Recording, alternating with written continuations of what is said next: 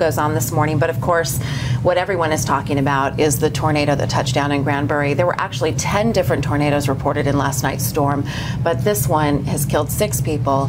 There's still several people missing. Um, hundreds of people were injured. So six still unaccounted for. Yeah. So we are. That video. There's, wow. There's the the main funnel cloud that touched down, and I'll tell you something. Tense, scary moments as people saw that touchdown, and then this morning as the sun rose and they were able to see the aftermath of it, it was just devastating.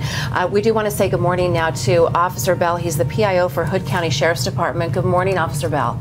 Good morning. Thank you for being with us. What can you tell us as far as an update goes? Last we heard, there were Look six people that. killed, there were several people missing, and hundreds injured. Our fatality numbers remains at six. Uh, we had 14 people listed as missing uh, last night. During the night, we've made contact with a group of five. That was a family that had left before the storm. And then the search and rescue team uh, came across two persons that were in their home that did not evacuate. So now we believe the, we're down to the number of seven for missing. Um, my best my best number of injuries that were treated that we know about are, is a 53, 54, somewhere in that neighborhood.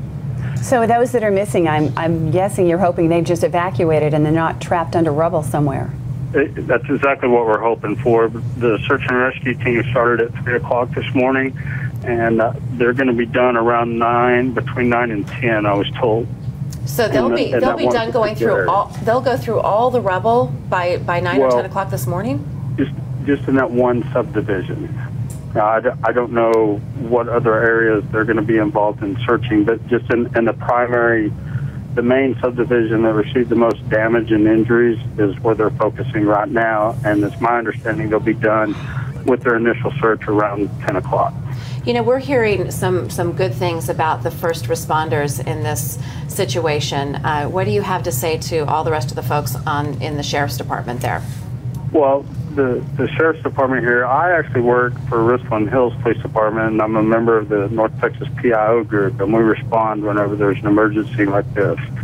So I'm just I'm just here helping out with Hood County.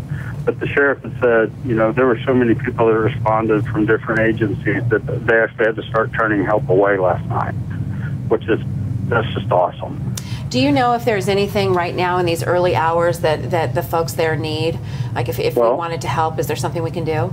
We're having a meeting at 10 o'clock this morning to get the donation process organized and coordinated. And as soon as we get that, that uh, fastened down, we'll release that information. Uh, we don't, we don't want a, a bunch of stuff delivered that we're not going to need or have a use for. So we just want to get that coordinated. And also for the volunteers, for the, for the groups, and also for the individuals that want to volunteer, we have a, a station set up for the, all the volunteers to register. That way we can keep track of who's here and who's doing what and keep that in an orderly fashion as well. Okay, and I do know we're going to try to talk with the folks at, at the Red Cross and see uh, what we can do to help with their efforts. Um, real quickly, Officer Bell, before we let you go, how much advance warning did the folks in Granbury get before the tornado touched down? Do you know? I, I know I saw, I know I saw footage that someone filmed the tornado and you could hear the sirens going. And I believe I heard the sheriff say there was. I know he was on the the radio with the National Weather Service, so there was an advance warning given. I I, I, can't tell you exactly how many minutes that was, but it was a, a, a pretty fair warning. Okay. Officer Tybell, thank you so much for joining us this morning. I I know we'll all be tuning in to, uh, to hear what, what y'all have to say this morning at 10 o'clock. But gosh, just devastation. And you know, the first thing that I thought when I saw some of the video from this morning, and uh, I was watching Channel 8 and they had their helicopter up, and y- you know, you, they tell you to get low when you when you think there's a tornado coming. Get to the lowest point in your home. And boy, if if that advice was not evident that it's good advice. It, it was this morning when you saw those shots because the top of the homes just sheared off. And do you really want to be in that helicopter when they're shooting the video? I don't think so. That's Yeah. not a good job to have Well, you know, day. and they had when the storm was rolling in last night, they had some um, choppers up from far away taking shots of it, and I know that's very scary to be up there when there's. Now, you've been a newscaster, right? Did you ever do any storm chasing? I, I never did. Um, I, I never got stuck with that. I did. that. Did you? I did. My first job was on the air in Lubbock. That's Tornado Alley. Yeah, we did it. We did it quite a lot. It was It was scary, but really exciting. Not a place you want to be too much. Though. Yeah, sometimes you know those breaking news stories. It is exciting being out there, but um, those storms are just so unpredictable. Um, as I said, we're, we're talking to the Red Cross this morning too because they are always just right in the thick of things, helping, and their help is immediate and um, much needed. So Anita Cross with the Red uh, Anita with the Red Cross joins us now. Anita, good morning. Good morning. How are you? Well, we're doing we're doing a lot better than the people that we're helping this morning. I'll tell you that they had a really terrible evening. Yeah, I can only imagine what what it was like this morning when the sun came up and everybody was starting to see really what what the devastation was. Were you there this morning then? So yeah, yeah, we came in uh, we came in and started setting up shelters in the overnight hours. We actually had uh, three shelters set up. We have one remaining. Had 42 people that needed to spend the night with the Red Cross last night. So that's pretty significant.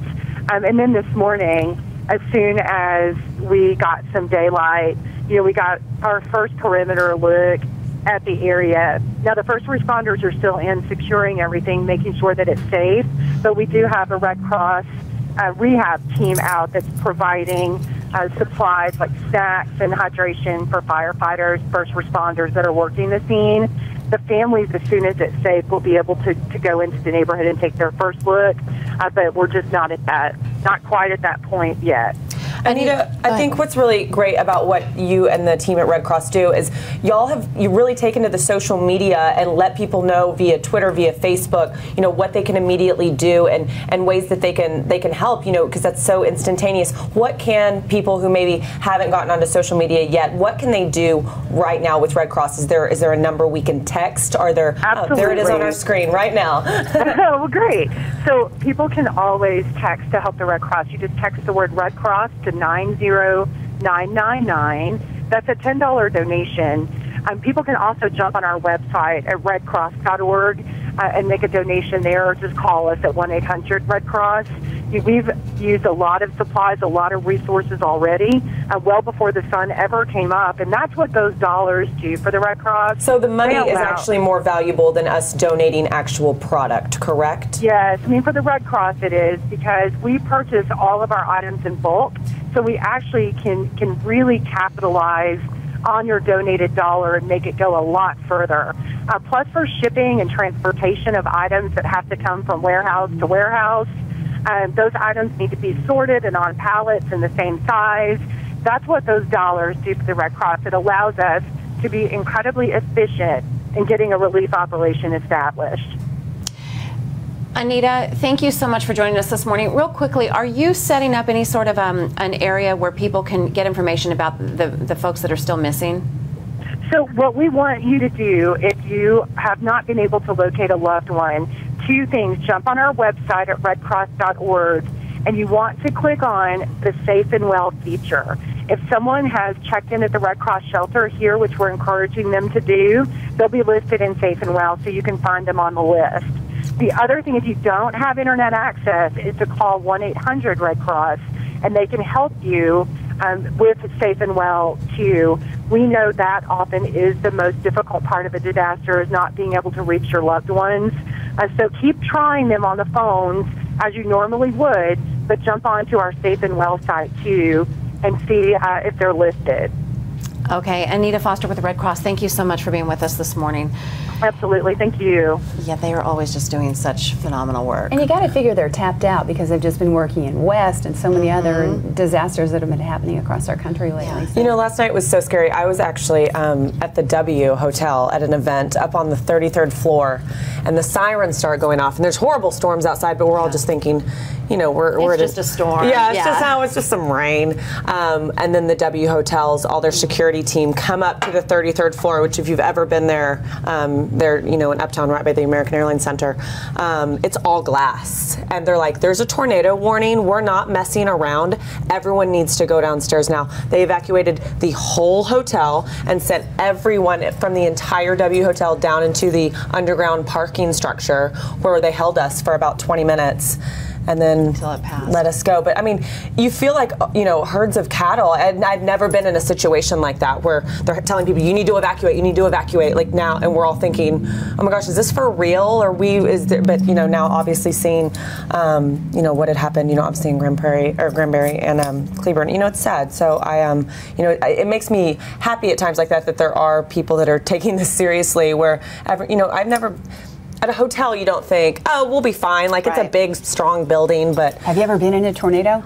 you know, I have. I grew up in Fort Worth. Um, So you remember the big yes, building near downtown, near yeah. Benbrook, and um, and so there were times that you know we would get in the bathroom and there'd be a mattress, and um, you know you hide in a room that you know is Climb very sound. yep.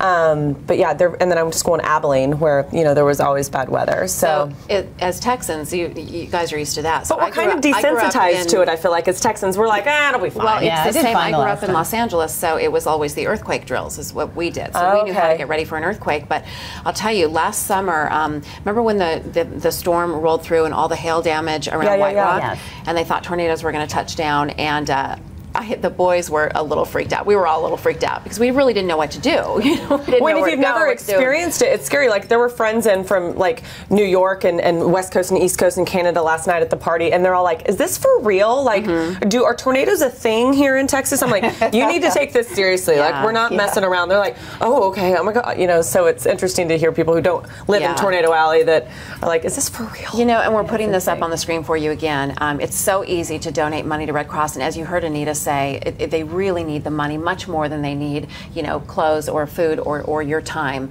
Um, so you can text Red Cross to 90999, and uh, that makes a $10 donation immediately. And also, if you are one who is looking for loved ones and you haven't heard from, from people, and we know that there are people still missing, uh, you can go to redcross.org, click on the Safe and Well feature and uh, and hopefully the folks who who are there and are okay have checked in and their names will be there.